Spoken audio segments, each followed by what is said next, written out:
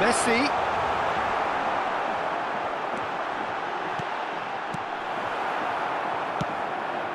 Oh, he's not going to get that.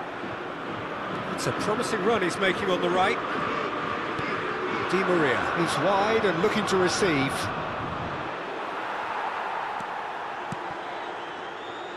It's Verratti! Goal! Paris Saint-Germain! And Paris Saint-Germain take the lead.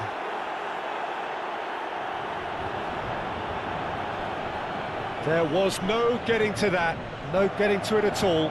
Expertly done. Now that's what I call finishing, right in the corner. He knew instinctively who was where and didn't need to waste any time weighing things up.